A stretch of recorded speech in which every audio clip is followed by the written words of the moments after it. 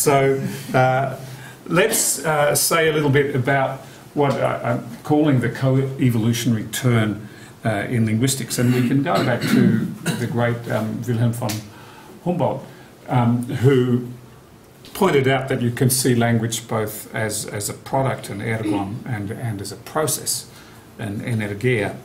And I think just as in evolutionary biology, we're seeing a shift in the focus of what we generalize about. I think the generative um, half century focused very much on language as, as a product uh, with rules, with representations. Uh, there being this somewhat fictitious language organ uh, and essentialized concepts like language and syllable and, and so on. And I think we're moving more to a focus on, on process, uh, selection of various sorts, co-adaptation of various sorts. I'll mention some today. So once we do that, that really upgrades the role that language diversity plays, as we heard. Moves it from a, bit part, which I think it, it has been in the generative era, to truly a, a central centre stage. Uh, just in the same way that diversity is, is really at the core of um, evolutionary biology from, from Darwin on. And it means we need to look at all the possible design solutions found across the world's languages and have a single account. It's not that we're not seeking uh, generalizations, but what the generalizations hold at is at the level of processes which engender complex systems and we have to deal with a very large and competing set of, of selectors, which is what generates the diversity. They can be cognitive, they can be physical, having, having to do with a um, speech apparatus, they can be information systemic, they can be cultural, they can be demographic, they can be historical.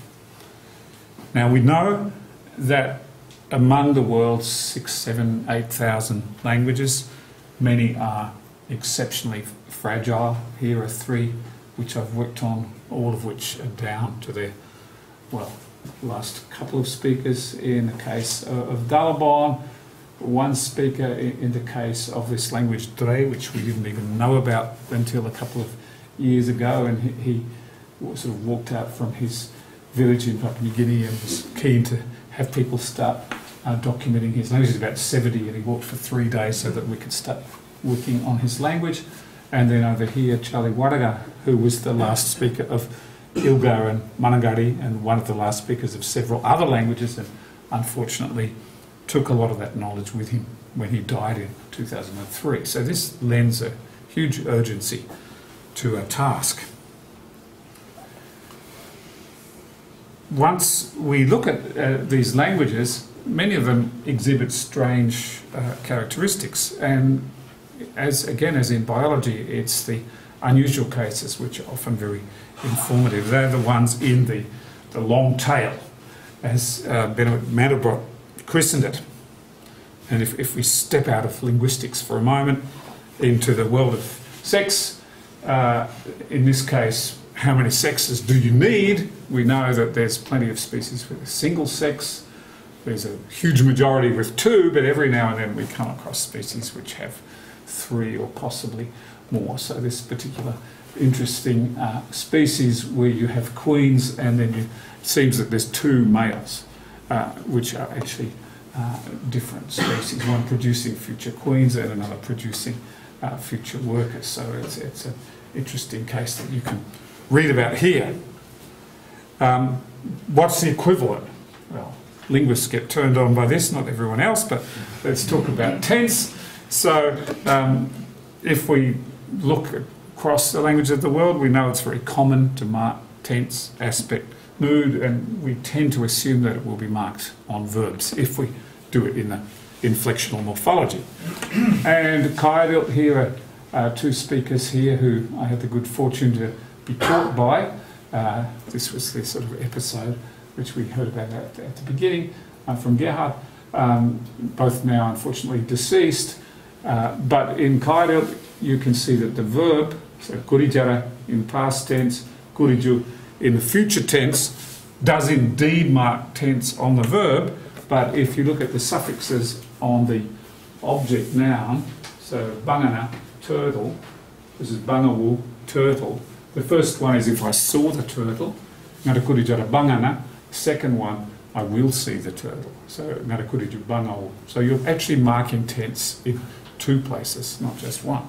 And if you think that what you're doing is locating a whole proposition in time, not just the verb, then why not mark it in, in principle all of the elements of that proposition. So here, if, if you go and look at WALS, a magnificent um, World Atlas of Linguistic Structures, and look at what happens with case, you see that there are only two languages in the world that also mark tense aspect in mood in case, so it's rather rare. There's probably a few others. Uh, so then this raises interesting questions. How could that arise? Why do we do it? Uh, and, and so on. And indeed, uh, there have been published claims by Pinker and Bloom in the early 90s that no language would mark tense on nouns, and that's one of those sort of confident universals about language, which turns out, um, well, to be statistically uh, a rough guide, but not to be absolutely true. So if we now go out looking for diversity, where have we looked? Where, where has the science of linguistics looked? Well, this is a representation of the, the world's geography. Uh, we're taking as a proxy the number of language learning studies uh, for which we have information in child. So I've just blown up uh, the sort of main country that languages have originated from so you can see the usual culprits English, French, and Spanish. I'm sorry that German's a little small there.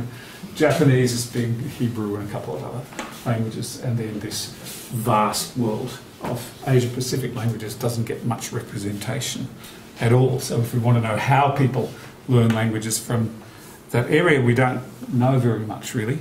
Um, on the other hand, if we scale world according to where the languages are, that's what it looks like. Is this world Weltmeister, um, Papua New Guinea, and Indonesia sort of coming in at number three, two, and India and Nigeria and Cameroon, so Ethiopia and so on, uh, right up there. So there are, are, whole realms of diversity there about which we know very little and that have a, have a great deal to, to teach us. Now, under this title of co-evolutionary linguistics, I, I, want to go through four uh, levels of interaction that we get and many of you will know this uh, very interesting woodcut or uh, engraving that was made in 1867 because here we have what was then a known orchid, this Angraecum sesquipedale, uh, with an incredibly long nectary, nearly a foot long. Just this little deep thing with a nectar at the bottom. That had been reported, and Darwin saw a copy of this in 1862 and wondered how it could be fertilised because all the pollen was sitting at the bottom of the nectar, and postulated that there could, must be some moth with a long enough proboscis to suck out the nectar from the bottom. Um, but of course, there were already you know, creationists uh, in those times and people, uh, you know, advocates of intelligent design. The eighth Duke of Argyll published a book in 1867 called The Reign of Law and the same year, Alfred Wallace replied with a paper called Creation by Law, and he seems to have um, commissioned this picture by, uh, of a moth, which at that time had not been seen.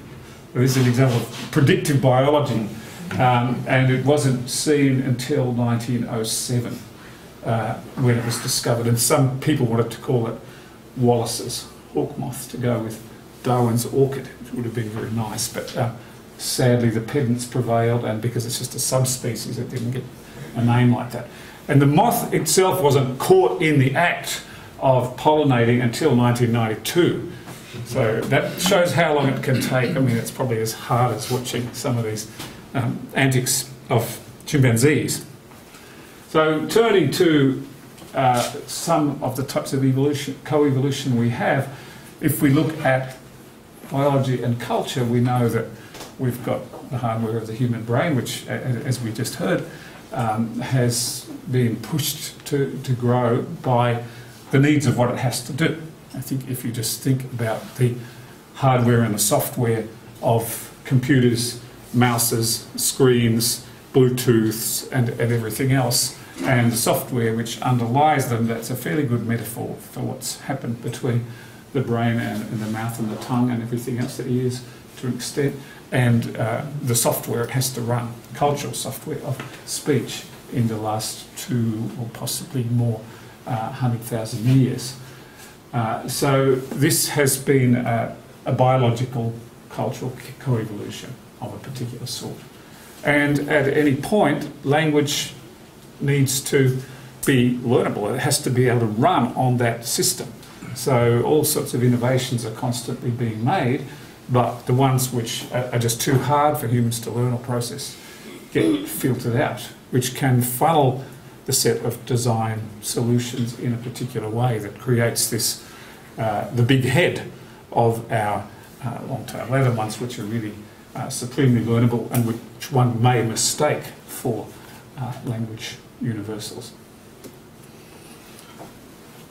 Then, as we, we know, language leads this double life. It has to exist in, in a brain of an individual, and those three people I showed you earlier, like for example Charlie Wardaga, uh, at that point in his life, maybe five years before he died, the whole Ilgar language was in his brain, nowhere else. Uh, can exist in a single brain. But of course, that's not what usually is the case. It exists out there among people who don't have exactly the same models. We're not like a whole lot of John Malkoviches, uh, except in this sort of idealised speaker hearer in a homogeneous speaker environment, but we're in a much more diverse set with stochastically compatible uh, representations jostling each other. And this leads us on to a lot of questions about social dynamics. For example, does language change differently in bilingual settings? Um, and once we get to that point, as early humans, uh, maybe before that, uh, the fact that we get these individual differences itself opens up opportunities for social semiotic system, maybe accents, maybe um, individuals, and for example, fine-grained signalling of group membership by vowel quality, which people tend to take as a universal. I don't think it is personally, because in the Australian languages I've worked on, vowels don't actually ever seem to fulfil that function, but it's an interesting question it was long a taboo to think that there were any genetic differences between groups of speakers. Um, going back to Boas, linguists were sort of taught you, you can plonk someone from any speech community, take a Zulu and grow them up in Beijing, and they will grow up speaking uh, Mandarin indistinguishably from their ethnically, racially Chinese uh, neighbours and friends. But since the ground breaking paper by Dediu and Ladd we know that that may not be quite true. That is, uh, there do seem to be these very subtle uh, genetic differences at population level. That doesn't mean you're not going to learn a tone language if you're from another population, but it might just take you a little while longer to learn it. Would we know if it took a week longer on average or two weeks longer? We actually don't have the statistics on that. But if we run uh, selection for uh, structures over a few hundred generations, a very, very weak genetic bias can load uh, two quite different pathways of evolution towards different linguistic systems. So uh, this brings us to some sampling problems in human linguistic history. We, the languages I showed you before as being overrepresented are all languages spoken by hundreds of millions of people. That has shaped our nature, uh, our, our, ideas of what a human language is like and what a human language situation is like. Uh, but for 99% of our evolutionary history, we've been hunter gatherers in small groups and probably highly multilingual small groups in the average case. Because if your group size is 70, you better not always seek your mate inside that group. So it's better to look outside. And 70 is a perfectly respectable size for a stable uh, language. So if, if you look at areas uh, like Northern Australia or Papua New Guinea or whatever, it's quite normal to have multilingualism across a small scale mosaic like that. And it's entirely possible that particular structures, like the kind of structure I sh showed you, outliers in the design space arise more readily in small populations, that we, it's starting to look like morphological complexity is greater in small languages. Rates of change is an interesting problem. We need to break that down into rates of loss and rates of gain, and processes of change might be different. So we are starting to come across evidence that people deliberately push language change in a particular direction to differentiate themselves from their neighbours in small scale settings where signalling group membership is a very, very important part of uh, language function. So a third type of co-evolution is culture language co-evolution. I call these Humboldt-Herder effects to distinguish them from Sapirian uh, or Sapir-Whorf um, effects. So this is where cultural design choices, cultural preoccupations, actually become selectors for language structures. So we, we were hearing about um, other minds, and different cultures have different beliefs about the opacity of, of other minds. How far can you actually know what um, other people are thinking? Quite a lot of anthropologists have claimed that some cultures are much more epistemologically skeptical about others uh, than, say, mainstream uh, psychoanalysts' couch culture uh, that we, we, all have inflicted upon us. So let's look at a particular phenomenon in, in Japanese that you can call private predicates. In English, if I say, I'm lonely, you're lonely, she's lonely, we use exactly the same expression, lonely. If we translate that into Japanese, sabshi, uh, you can only use that if you have direct subjective access to the state. So you can subjectively vouch for the loneliness. Uh, on the other hand, if I'm talking about someone else, say a member of the audience, I have to say sabshi gateru. So gives outward signs of being lonely. See appears lonely or something. So what I did was uh, Google on the using Google Images for sabishi, and these are the images I got. So representing things from the point of view of, of the person themselves. And when I Google sabishi gateru, this is clearly you know, someone talking about someone else's heartthrob. And here we have this famous uh, dog, Hachiko, uh, who looks lonely, but it's you can't be quite certain of its mental state, as any ethologist will know.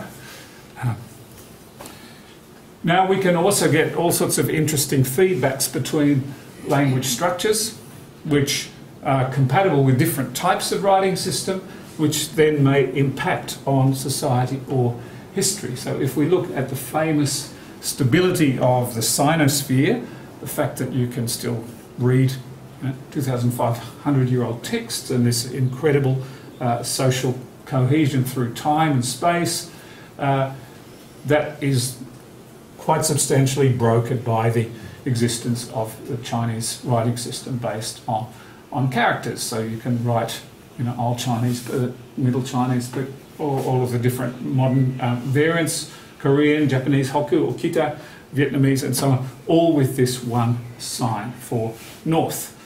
And uh, it seems plausible that uh, monosyllabic, non-inflecting uh, language naturally lends itself to sticking with character-based representations. One of the reasons for saying that is when Korean and Japanese, which weren't of this linguistic type, have hefty inflectional morphology, uh, developed more sophisticated ways of writing their own language.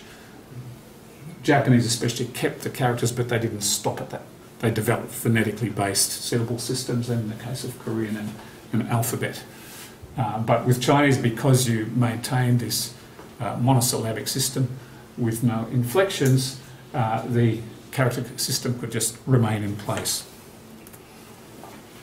Final type of co-evolution on a much shorter scale is between language and cognition. So here we enter the realm of Sapir-Whorfian effects, and many of you will know this famous case of uh, many Australian languages where the default way of referring to objects rather than saying this or that or to, to my left or to my right is to uh, locate things in absolute space, north, south, east and west.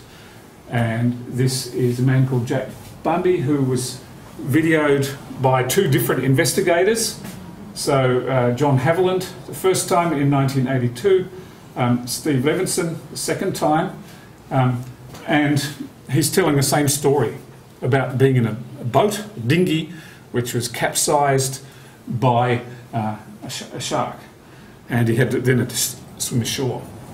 Now, in a language like Guugu Yimithirr, not gesturing in the correct uh, absolute sense is lying. You, you have to gesture absolutely. Uh, so if you can make this out from here, the first time uh, he's saying the boat lifted up and went like this, and the second time he said the boat went like this because he's orienting the rotation gesture to the actual north, south, east, west uh, that dictates or you know that, that frames how he's sitting. And uh, a whole suite of studies by Steve Levinson and others has shown that uh, speaking a language like this produces very different standard cognition in the sense of how people remember spatial layouts, how they describe them, uh, and so on. So we have these, we can call them Vico-Herder effects, which are of culture on language. They're very slow, require iteration over many lifetimes. It's quite hard to get good falsifiable evidence from this. You need to look at discourse frequency, typology, comparative population studies, and then Whorfian effects, which are of language on cognition in the space of a lifetime, possibly much faster, and it's possible to study these things experimentally. Now, I want to give you two little case studies just to finish up.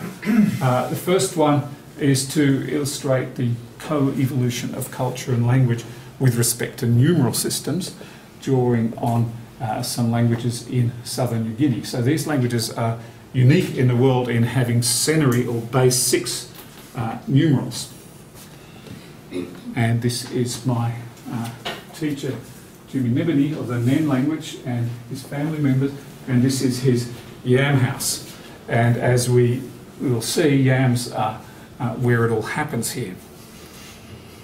So if we lay out uh, some numbers and count through in English or, or German, uh, conceptually they are, are, parallel, we hit sweet spots where you get nice uh, monomorphemic numbers like 100 or 100 or 1,000 or 1,000 and things which are morphologically more complicated like 36 on, on the basic or 216. 216. No one would think of those as sort of easy numbers.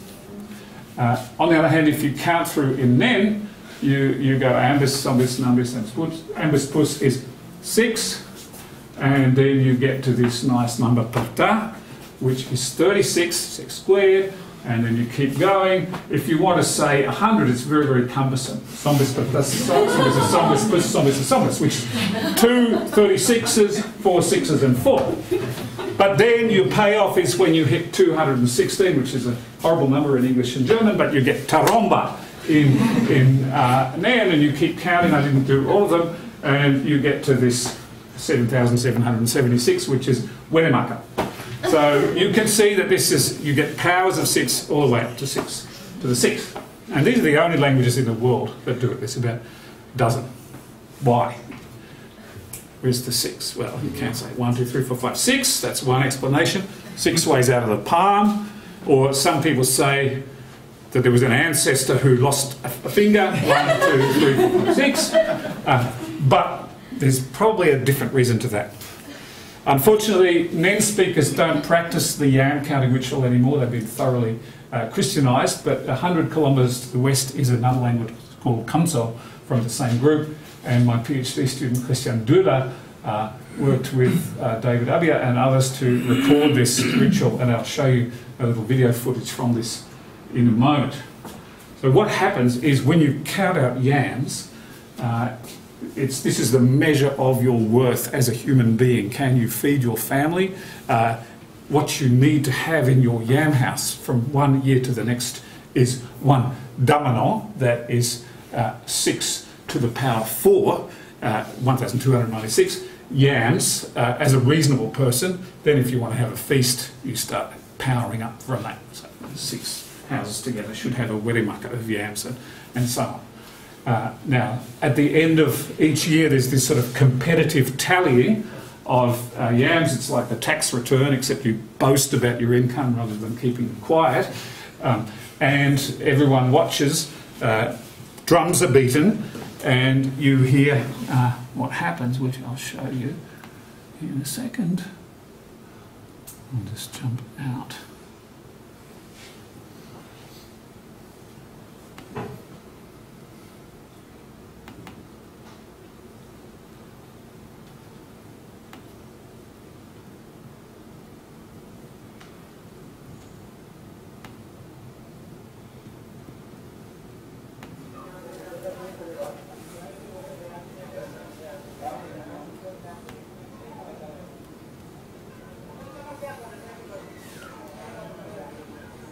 So what happens is that two men each, each pick up three yams, like a waiter, waiter carrying three cappuccinos. So one in each hand and a third balanced between them.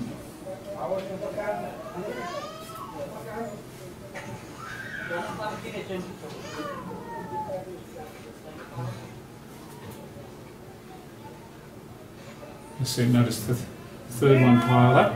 So that's one, means one pile of six two piles of six, three sixes, four sixes, five sixes. Okay, that's the first count, six sixes. Now see he pulls out a little counter yam, and that starts the count of the powers. And well, I'm not going to show you the whole film, it goes on for quite a time. you would see that gradually grow, and, and uh, on it goes from there. Right? So it's, it's not hard to see how that will then generate this um, base 6 and its powers. And what I'm going to spare you, but I'll just tell you, is that um, you can see this just as a uh, system for counting yams uh, because maybe you just shout it out in the yam counting ritual.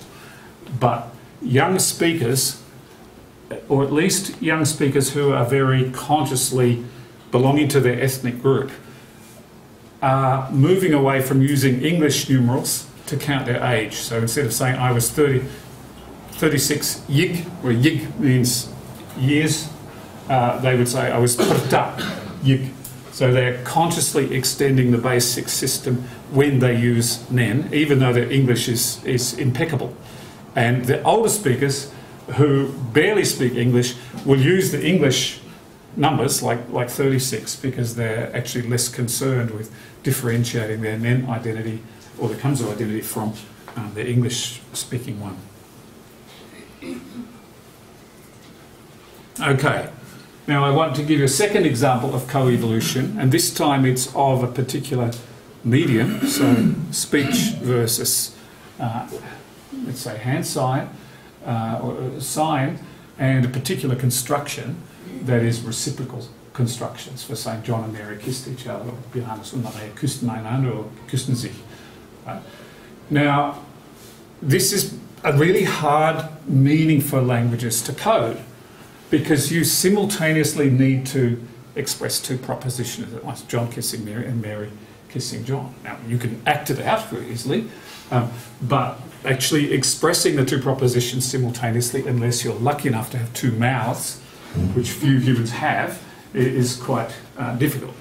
Now, it, we know both from evolutionary biology and from field of engineering design that the number and complexity of the tasks that you have to perform uh, increases the number of equally efficient designs. If you just have to do one thing, it's easy to converge on your design. When you have to juggle a lot, there's much uh, more diversity in the way of solutions. Now, John Haiman wrote a very interesting uh, discussion of how reciprocals are done in his grammar of Hua, which is a Highlands Papuan language. And he points out that if he was very interested in iconicity, that is the isomorphism between meaning and form in language. And he said if you really wanted to represent reciprocals iconically, you'd have a structure like this, where you've got S1 and S2 both being spoken at once. Maybe Jonathan and I could talk at once and we each say the same thing. But unfortunately, spoken language isn't very good at that. In fact, it just doesn't work. You have to put things together horizontally.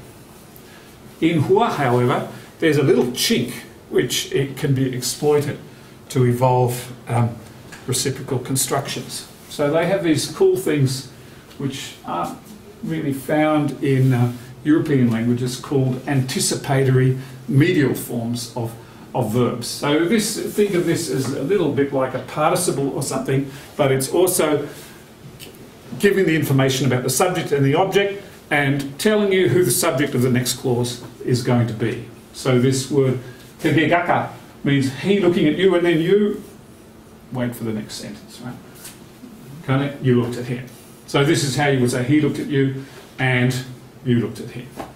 And kana would mean you looking at him and then he coming right up and then kage, he looked at you. So these are just normal sequences of chain verbs, each one anticipating the subject of the next clause uh, to show how this, the basic system works.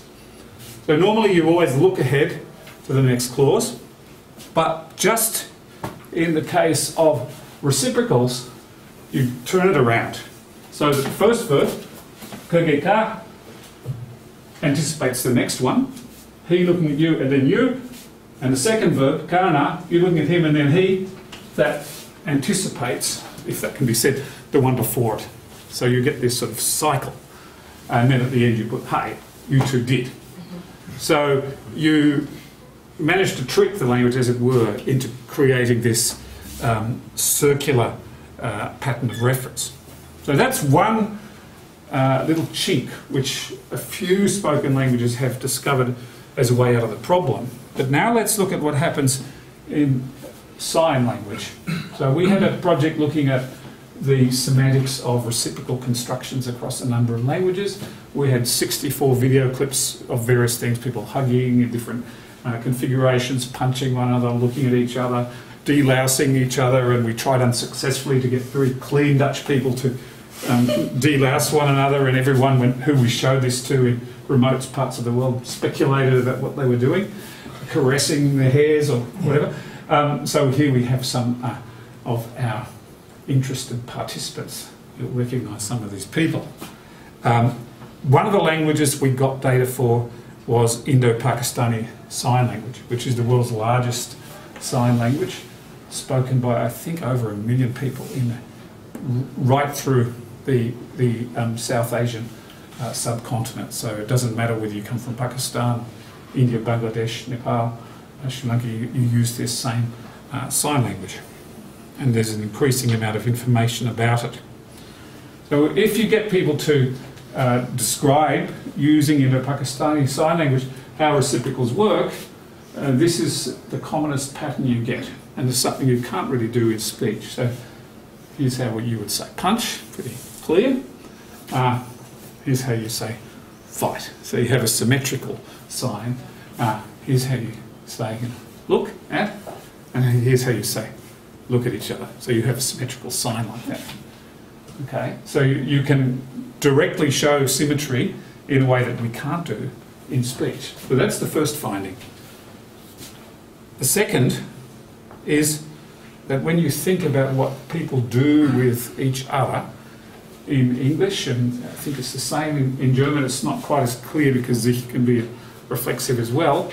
Um, there are all sorts of things which aren't strict reciprocals. If you're talking about a graduation and you say, the students followed each other onto stage. the guy in front is not um, following anyone, and the person at the back is not being followed.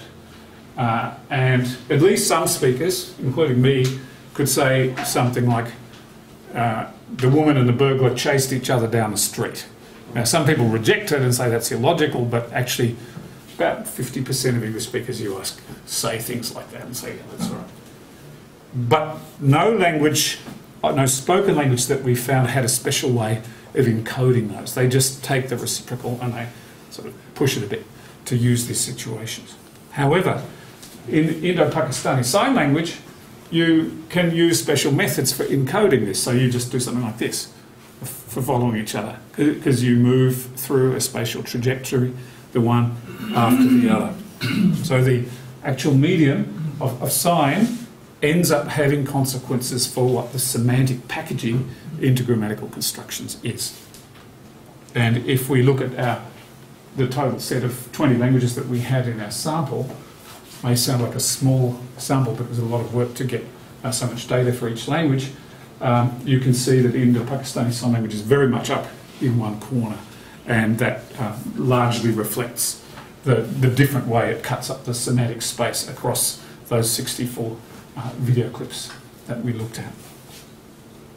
So just to close, um, co-evolutionary approaches shift the focus to variation and diversity. It's no longer the noise, it's the signal. Uh, we need to fully sample the design space because that long tail that's out there, you know, gives a lot of clues that can help us understand better what the main uh, crowd of languages are doing because it shows you you don't have to do things that way. So when you get something that's a bit usual, unusual, there's, there's a reason for it. Something didn't line up. Um, and causal inference about why a language is the way it is. Uh, it's just like a causal inference in biology about you know, why uh, an organism has particular features has to draw on cross-linguistic sampling. If you just say English does this because of this uh, syntactic stru structure, that, that's just um, post hoc reasoning. Uh, that means that the representation itself no longer carries the burden of the explanation yes, we do need uh, general theory of representations. I've got nothing at all against that. It, it's been very important in looking at the complexity of language, but it's not the same as explanation. And we need to focus on all sorts of selectors. That's all part of what enables us to host uh, speech in our uh, individuals and in our um, species. So the brain, the articulatory apparatus, system properties of the communication system, but also social and cultural uh, factors. So what makes you select for a, a Senary system, basic system? Why don't we have that in English or German? Well, it's possible that it's because we didn't have a particular sort of yam counting system that uh, drove us to develop that thing. So a given culture that happens to have yams as a staple, they develop a particular uh, ceremony for counting it, and then that uh, drives the selection of one type of numeral system. And we need to accelerate our momentum in documenting the world's um, very fragile linguistic diversity, which is disappearing at a frightening rate. But if we are to have any ambition to explain, not just to describe, um, we need to address lots of non-linguistic factors uh, as well. And we just need to develop a, a general comprehensive theory of how evolutionary and co-evolutionary processes generate what we find among the world's manifold languages. Thank you.